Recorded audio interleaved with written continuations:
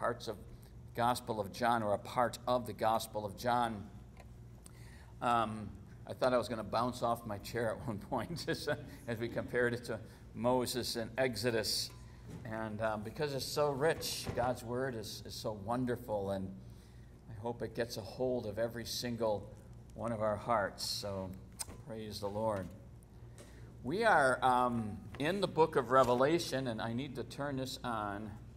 So, this is um, George's little, we used to use this all the time, and, and George is going to be able to bring this home for um, Victoria so she can hear today's message as well. We're going to be doing this every week for her, like we used to do um, before. So, um, we're going to do it again. So. I know Marilyn really appreciated it, and I, am quite sure Victoria will as well. Okay, praise the Lord. We are in the book of Revelation. Once again, I, I have to admit, as I'm preparing Revelation, we're in chapter 14, by the way. As I've been preparing and meditating on it, I, I, I struggle a little bit with the whole the application part. And um, I think application of Scripture is important. You know, knowing um, how this leads us and guides us in our path, how we live our lives. But there are certain things, uh, I was thinking even this morning a little bit, that um, don't need a lot of explanation for application. And I was thinking, what, what would it be like for you and me if if all of a sudden the Lord were at our side, put His arm over our shoulders and told us that He had uh, showed us His hands, perhaps, and reminded us of how He died for us, was raised to life, how He has gone ahead of us to prepare a place in His Father's kingdom, as it says in His Word. He goes, I go to prepare a place for you, and if I Go and prepare a place for you. I will come again and receive you to myself, that where I am, there you may be also. I mean, to have Him speak to your heart and say, I have prepared a place for you. And it's my Father's good pleasure to give you the kingdom. And for Him to tell you that there's this eternal kingdom that awaits you, and an eternal inheritance. That's what His Word says your heart would be greatly comforted. And as his arm slips down and he begins to walk away, I don't think the first thought that would come to your mind is, excuse me, um, how do I apply that to my life? you know? Um, there, there's times when that's necessary, but also, oftentimes the Word of God is just, it's just so wonderful, you don't really need that kind of a, an explanation. And I think the book of Revelation is one of those kind of books. It's not a how to book at all. It's not a, um, I mean, it, it gives us a lot of directions in how we're to live in the fear of the Lord and to worship and praise Him. But God is opening up for us, if you will, the future and the heavens as we get a glimpse of the triumph of Jesus Christ. In, in the Gospels, we see Him on the cross and then resurrected. In Revelation, we see him seated in his kingdom in glory, showing his saints who were redeemed on the cro- at the cross, celebrating his triumph with him. And I think we're going to get a glimpse of that today. So I don't, I don't, I, I guess I'm saying this more for myself than anybody else. That um, it's, it's not always, um, there's not always a, a clear cut way that you can you know, bring, down, bring out the application or, or, quote, make it practical or, or whatever. But the picture you get, the truths that just come off the pages of Scripture, are all the explanation that we really need. Let's look at the first five verses of chapter 14. The context, once again, is this um, interlude this parenthetical section starting in chapter 12 through chapter 15 as, as um, we're being prepared for the final set of judgments in this section, we are having seven different personages revealed to us. At first, we had seven seals, and then there were seven, um, um, excuse me, um, trumpets, and then seven thunders, and then seven personages revealed. And um, here we're going to see the Lamb as we saw him earlier in triumph with 144,000. So the context is this, and we just came off of chapter 13 where we see two different beasts. We see the, the political beast and we see the spiritual beast uh, called the Antichrist and false prophet, deceiving, powerful, everything the world admires in a sense with its definition of spirituality and its idea of power and the solution to man's problems. But Jesus Christ has a very different solution, doesn't he? That's why it's a tragedy when the church tries to take up the methods of the world to, to take care of human problems. It just, it's so um, counterintuitive to the scripture. Jesus Christ has come to rescue us out of death and to bring us into the life of his own and his kingdom. So, these first five verses, uh, John the Apostle says, Then I looked, and behold, on Mount Zion stood the Lamb, and with him 144,000 who had his father's name and his, uh, who had his name and his father's name written on their foreheads. And I heard a voice from heaven like the roar of many waters and like the sound of loud thunder. The voice I heard was like the sound of harpists playing on their harps. And they were singing a new song before the throne and before the four living creatures and before the elders. No one could learn that song except the 144,000 who had been redeemed from the earth. It is these who have not defiled themselves with women, for they are virgins. It is these who follow the Lamb wherever he goes. These have been redeemed from mankind as first fruits for God and the Lamb. And in their mouth no lie was found, for they are blameless. Praise God. Mount Zion um, it says, Then I looked, and behold, on Mount Zion stood the Lamb, and with him 144,000.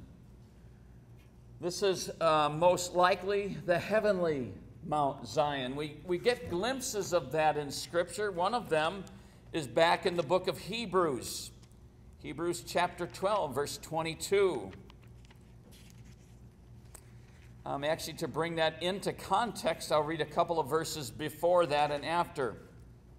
In Hebrews chapter 12, the apostle says, For you have not come to what may be touched a blazing fire and darkness and gloom and a tempest, and the sound of a trumpet and a voice whose words made the hearers beg that no further message be spoken to them. Of course, that's Mount Sinai at the giving of the Ten Commandments.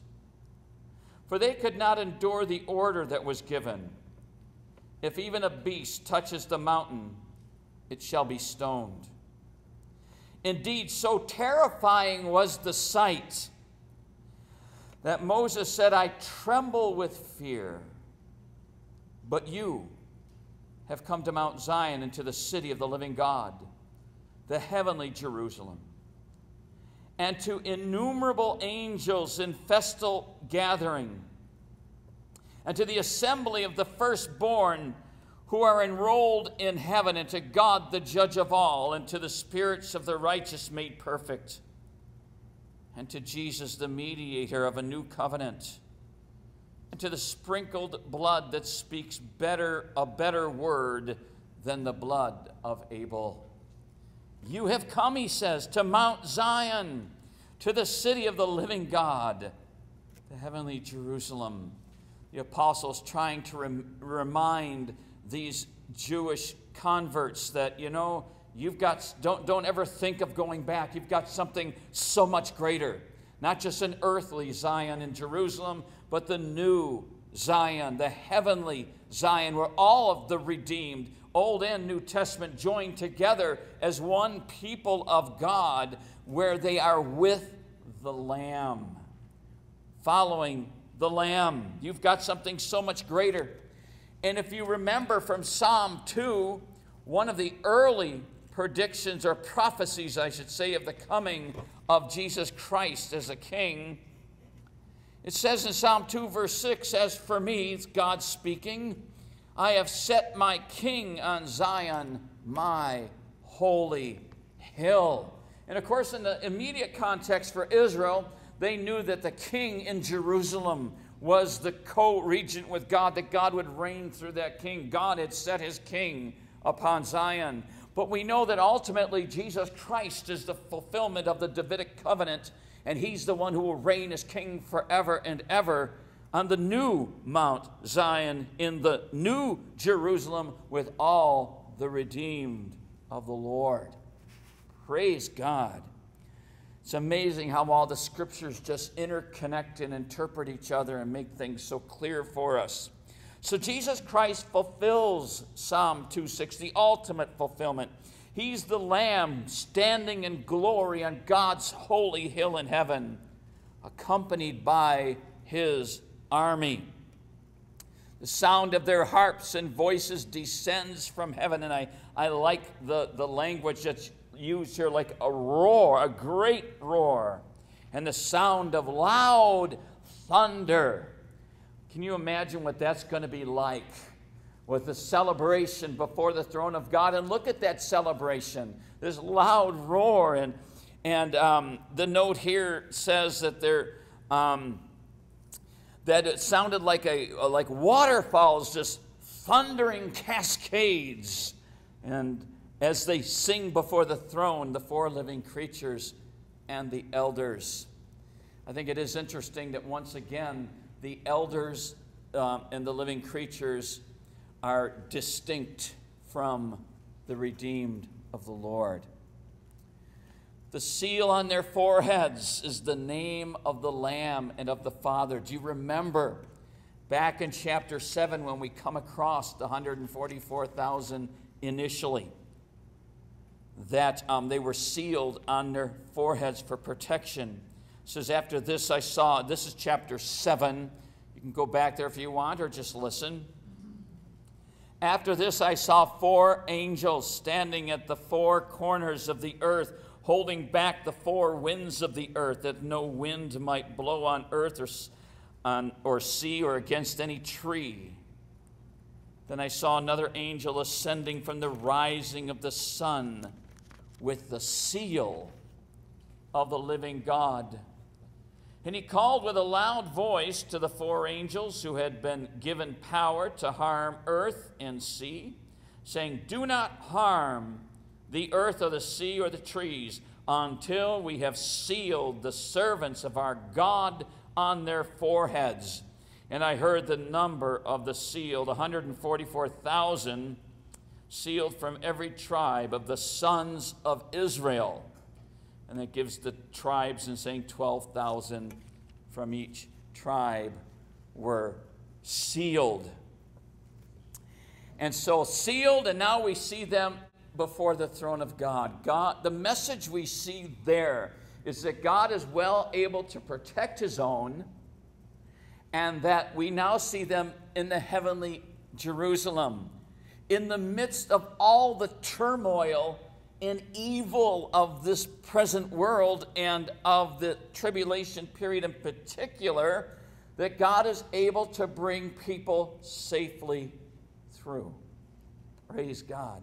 There are two different views, once again, as to who these 144,000 are. Well, there's probably many views, there's cultic views as well. And um, it seems, it seems to me that it's a particular group of the redeemed because they're called the first fruits unto the Lord, implying more to come. And, um, and we see from chapter 7 that they very well may be God accomplishing his purpose of that he promised, and we see it in Romans 11 of God redeeming Israel. There are others who see that, that, that it's just a representative group of all the redeemed of the Lord. However, you see that, the message is, is very powerful that those whom the Lord claims and those whom he seals, he's able to bring safely through to the heavenly home. And that's what we need to see. Because the scripture is very clear that in, in Ephesians chapter 1, that we've been sealed by the Holy Spirit as a guarantee of our future inheritance. It's a seal that cannot be broken. God's promise that He will bring us safely home and fully participate in the triumph of the Lamb over all of the powers of hell and darkness and over all the power of sin. Jesus Christ has overcome, He has triumphed over all. He is the conqueror, and we share in that triumph, and He is able to bring us safely to the place of full and complete redemption. The redemption that God has started in us will be completed. We died in our union with Christ, we died with Him on the cross. In our union with Christ, Paul says, Romans chapter 6, we were also raised with Him. And in Ephesians chapter 2, verse 6, we've been made to be seated with Him in heavenly places. And as I said last week, our lives have been hidden with Christ in God. And when Christ, who is our life, appears, we shall also appear with him in glory. So those who partake in his death, those who partake in his resurrection, in their union with Christ by faith in Christ, fully partake in all of his redemption. The good work that he started in us, he will complete in us. Those who are born again, regenerate by faith in Jesus Christ and the work, the sovereign work of the Holy Spirit, those are sealed unto the day of redemption. We will be with him in his heavenly Jerusalem on Mount Zion. The question becomes are we saved? are we born again? And having been reading in the last couple of weeks the writings from the um, 17th century um, scholar à Brakel, he often exhorted his people to make sure, like Peter the Apostle says, to check your heart and to affirm for yourself that you are indeed in the faith.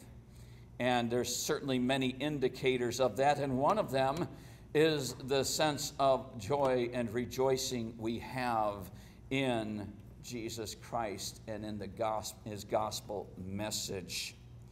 And Jesus gives the biggest indication of all, as does the Apostle John, of testing yourself as to whether you're in the faith. Jesus Christ says on that day, on that judgment day, he will say to some, I never knew you. Depart from me, you workers of iniquity. There's a people who have a life, a mindset, and a lifestyle of sin. You can say, hey, I believe in all this Jesus stuff, but your life has never been changed. You continue to live in the same patterns of sin. And not just falling into the same. I mean, none of us are perfect. We, all, well, we commit sins throughout our lives. John the Apostle says, I, I write these things to you that you would not sin. But if anyone does sin, we have an advocate with the Father, Jesus Christ the righteous. And if we confess our sins, he's faithful and just to forgive us our sins. So it's, it's forgiveness is an ongoing thing we receive from the Lord. And um, none of us are perfect. But the lifestyle, what is the direction of your entire life? Jesus called them workers of iniquity. They may have claimed his name, but they, their hearts were never regenerated. And John the Apostle says, He who says, I've come to know him, and this is in chapter 2 of 1 John, he who says, I've come to know him, but does not keep his word, is a liar, and the truth is not in him. Doesn't mean perfect obedience, but it means, once again, the direction of your life has changed. That's what repentance is all about the direction of your life changes. And if you're, if you're one who has had an about face, we could say it that way, imperfect though we are, and we've put our faith in Jesus Christ and we're born again, we've been sealed in the Holy Spirit. And that eternal redemption, the completed redemption, is a sure promise that cannot fail.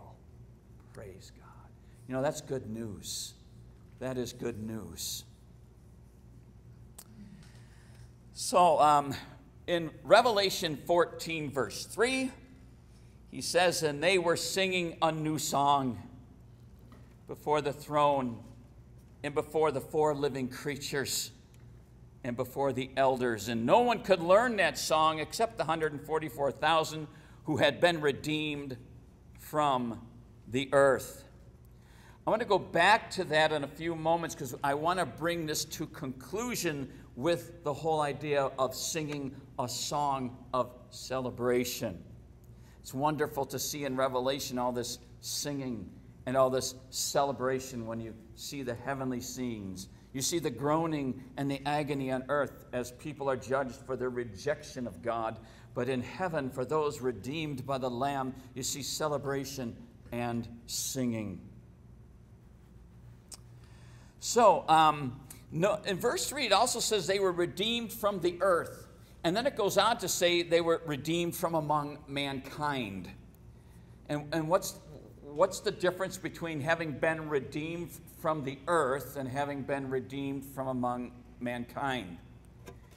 Well, I think the part uh, where it says redeemed from mankind is, is pretty clear in Scripture. Like the, the song says, from heaven he came and sought her to be his holy bride, and with his blood he bought her, and for her life he died. Jesus Christ came into the world to call out from among the nations a people for himself, and he died for his bride. And, um, and we know that he has come to seek her out and to save her.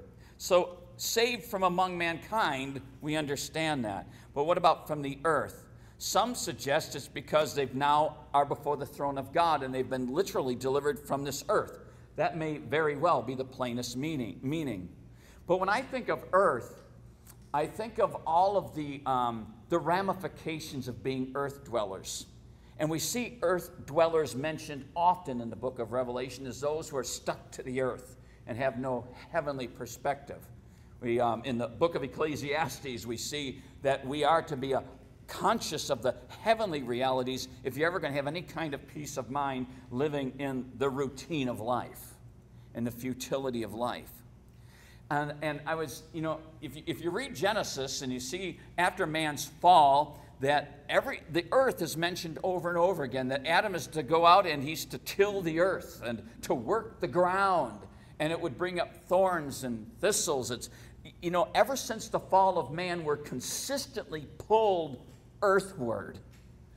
Did you ever, did you ever notice how you can have a moment when you um, experience perhaps the Lord's presence, or you have a moment when He speaks you through His Word and your soul is elated, and then a half hour later you feel depressed and wonder why you're alive? You know, I mean, it doesn't take long for us and our spiritual set of mind to just be pulled down again. That's why, that's why, people, it's so important for every one of us to have that time in prayer, to have time in the reading of God's Word, because we constantly have to be lifted up, don't we? Constantly. We're just drawn to the earth and to the ground in our daily routines and the mundane things of life. And um, we need those times of refreshing and, and spending time in God's Word and in prayer and in fellowship with other Christians just to be lifted again. That's why the midweek Bible study, I think, is so important in many, many churches because, you know, I, it's hard to survive. I remember our friend Dolly used to say, I can't survive an entire week. I need something in the middle of the week, you know, that will just help build me up. So I think perhaps when it says they were redeemed from the earth, praise God, they're redeemed from the futility we see in Ecclesiastes. You know, they're redeemed from this being pulled to the ground. They are forever free in the presence of the Lord and in his immediate presence. So maybe it's a combination of those two ideas redeemed out of this earth and away from its suffering, but redeemed from this earthly perspective, redeemed from the earth, and now fully heavenly minded with the mind of Christ and the, singing the new song of redemption to the Lord. It's a wonderful thought, isn't it? Finally free. Total fulfillment. The weight is gone.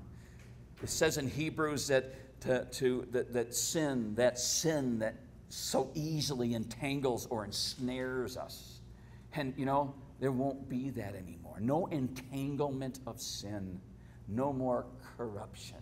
Nothing ever again to pull us down, not even Satan's temptations. He's gone, he's away, he's not there. Praise God. I don't know about you, but that's, that's exciting, and that's our good news that Christ has accomplished that for us. It says in verses 4 and 5 that they did not defile themselves with women, for they are virgins. That's probably been the most uh, uh, puzzling verse for many people and in this chapter. Um, what does that mean? Does it mean they were celibate? And uh, the answer to that is no, it doesn't mean they were celibate necessarily at all. Um, first of all, if, if it had reference to being celibate, it would not have said they defiled themselves with women. Because in the sexual relationship between a married man and a married woman, there's nothing defiling at all. It's beautiful and it's perfect. It's the way God created it to be. Okay? It's, it's, it's a wonderful thing, and it should be a celebration between a husband and a wife. It's um, interestingly, in the Old Testament, um, in particular, in Deuteronomy chapter 23, if you want to write it down, verses 9 to 11, those who were to serve in the army of the Lord, to go off to battle, would have to keep themselves undefiled by many things, but also keep themselves from any sexual union with their wives for the period of time that they were in battle. It's, it has the idea of being totally separated to the Lord for his service and in battle. But also, we see a theme that runs in the Old Testament, and we see it here in the book of Revelation as well. We see idolatry is always associated somehow with, uh, with um, adultery and fornication and prostitution. And we see a spiritual, a spiritual prostitution in the scripture, a spiritual adultery in the scriptures. And this group, these, this group of people, they are blameless before the throne of God. They follow the Lamb wherever he goes, and they have not defiled themselves with the idolatry of the world. That's the main reference, or to any kind of spiritual adultery at all. They're single hearted and they're not guilty of idolatry. And it's interesting because we just came out of a chapter where you see blatant idolatry under this second beast, the false prophet. But this is a group sealed by the Lord, kept blameless for the Lord before the throne of God. In their mouths, there was no falsehood, no lie to be found in their mouths. They resembled Jesus, don't they? They're blameless. They're blameless as the servant of the Lord. Interestingly, in Isaiah chapter 53, verse 9, I'll read that verse for you. It says of Jesus Christ, this is the servant chapter of the atoning sacrifice of Jesus, the gospel proclaimed 700 years before Jesus came, says, And they made his grave with the wicked and with the rich man in his death, although he had done no violence and there was no deceit in his mouth. They put him to death, even though he had never done any violence or had never spoken any deceit at all we get the idea that this group, this 144,000, also suffered persecution. And some, some scholars contend perhaps martyrdom. But they had also done no violence, nor was any deceit in their mouths. They're like Jesus. They follow Jesus wherever he goes, and um, which is true discipleship. They're the first fruits for God and for the Lamb. I like that word blameless. And Colossians is the, um, I'd like to turn to Colossians just for a moment, and then we will, I'll bring this to a conclusion. Colossians uses the word blameless as well. Paul, in his letter to the Colossians, I remember when the, when the lights went on for the first time inside of me about this verse in Colossians, how exciting that was. it, it, it, just it says so much about how complete the sacrifice of Jesus Christ is. We have no idea what sin or sinful man looks like through God's eyes. And I really believe that in His mercy, God has preserved us from that.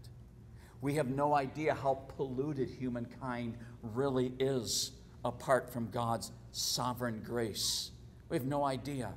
We, we do, as we grow in Christ, learn more and more and come to a greater understanding of how dangerous sin is and how wrong it is and how God is displeased with sin.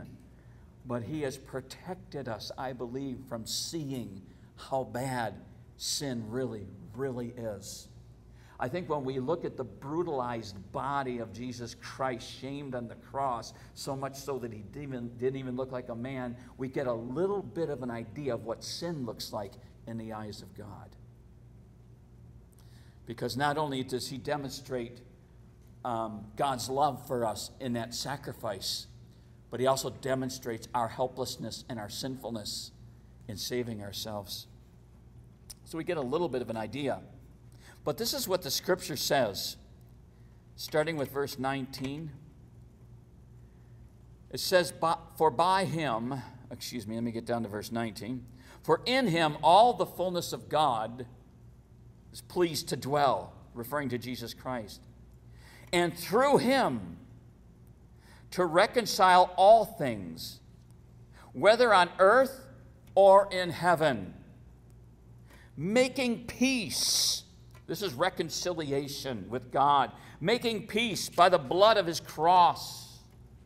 And you, you believers in Colossae, and you who once were alienated and hostile in mind, doing evil deeds, he has now reconciled in the body of in his body of flesh by his death He's reconciled you by his body of flesh, by his death. Now, watch this. In order to present you holy and blameless and above reproach before him. So, otherwise, the, the sacrifice of Jesus Christ was so complete.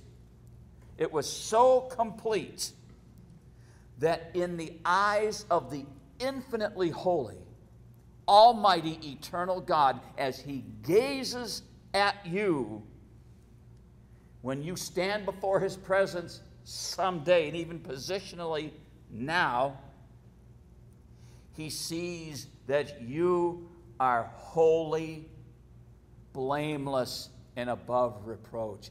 Wow. God wouldn't miss us. If, if the entire universe were perfectly holy, every ounce of this universe, every part of it, but somewhere there was a microscopic little speck of rebellion, God's eye would catch it. And he would hate it and want to obliterate it. But when you and I stand before the throne of God, because of Jesus Christ and our union with Him, His sacrifice was so complete that He won't even find a speck. We will be blameless, and God will see us as holy. Wow, that's amazing. That's the blood of Jesus. That's the sacrifice of Jesus on the cross. Praise God. That is so powerful. With the idea of the new song that they sang before the Lord, interestingly, throughout Scripture, and this is going to be my closing point. Throughout Scripture,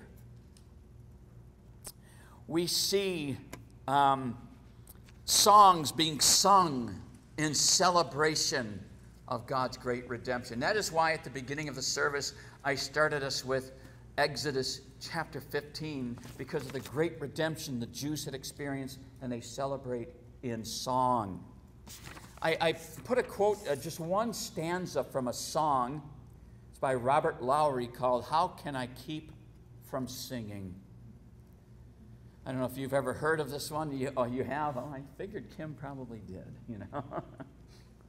but this one stanza says, and listen to these words, they're beautiful.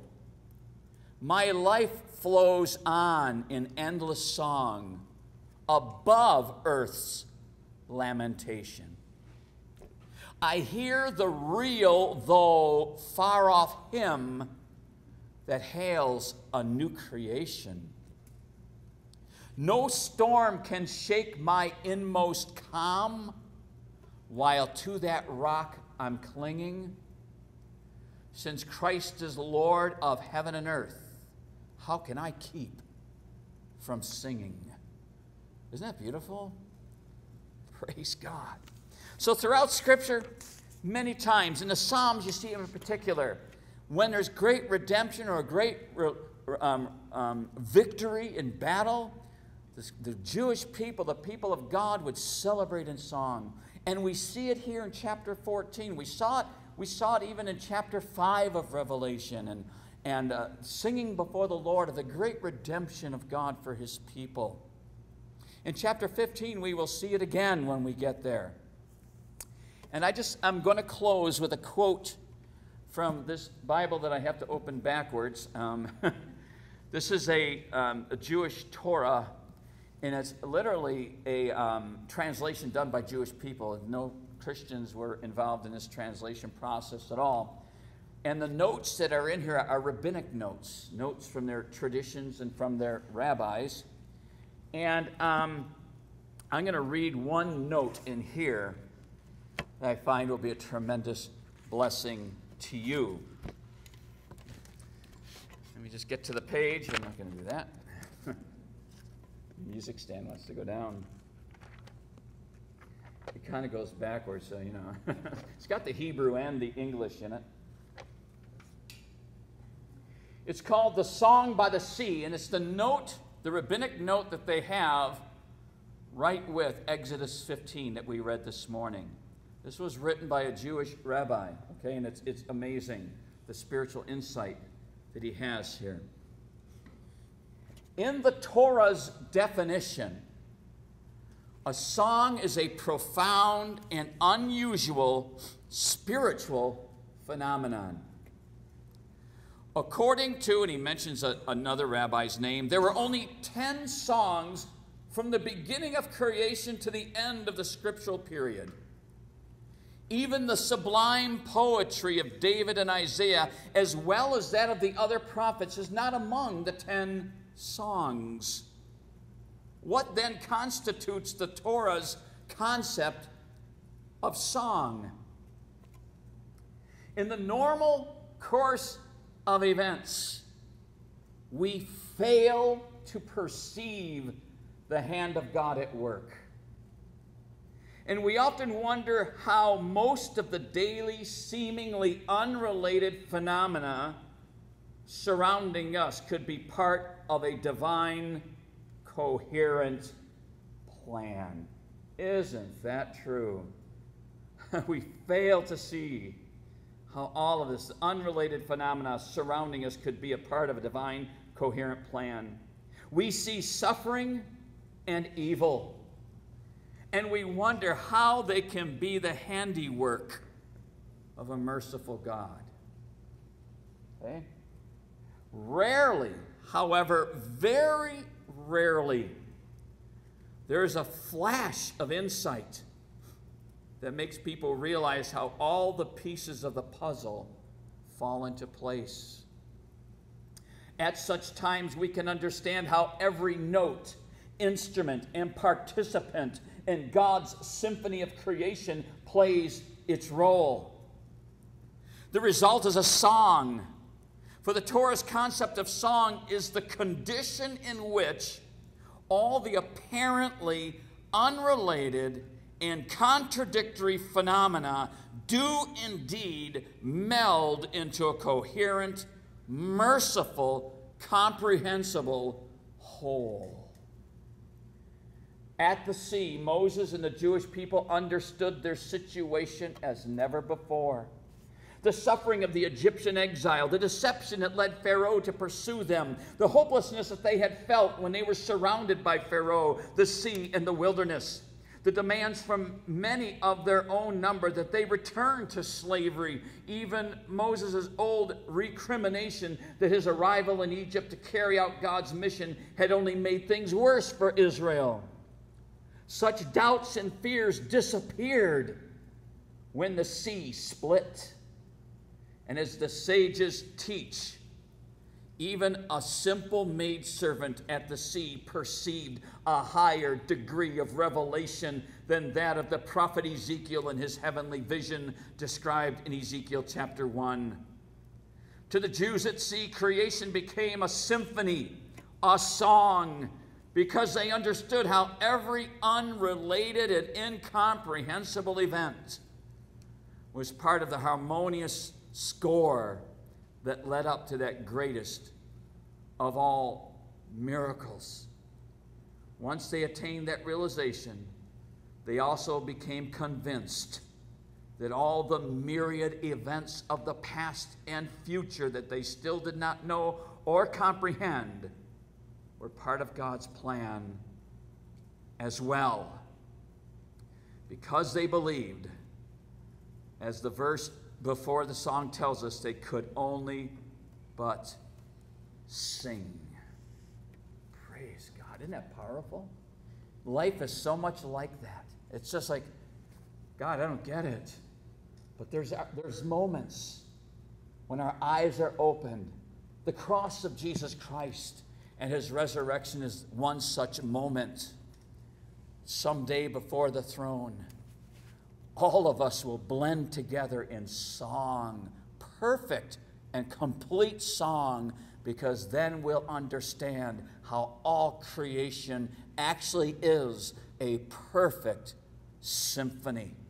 Everyone playing their part, God always in control and to be glorified. Praise the Lord. That was written by a rabbi. Wasn't that wonderful? Praise God. And um, we're going to have our communion celebration. I think communion is one of those ways that, in a sense, we sing a song, we, we celebrate, we recognize, we remember. Like the Passover for the Jews, they remembered that great redemptive event when their lives were spared while judgment went throughout Egypt. And we're reminded in Revelation that we, our lives are sp- spared by the blood of Christ and, um, and that we are sealed in the Holy Spirit and we will never suffer God's judgment. And this communion is our celebration of this great redemptive event when all creation sings together at the cross and resurrection of Jesus Christ and at his exaltation. I wonder what that moment was like when Jesus ascended to the right hand of the Father and was exalted as Lord and King over all of creation. What was that moment like in heaven? What kind of a song was bellowed out at that moment? In our communion, we celebrate that sacrifice and exaltation. Praise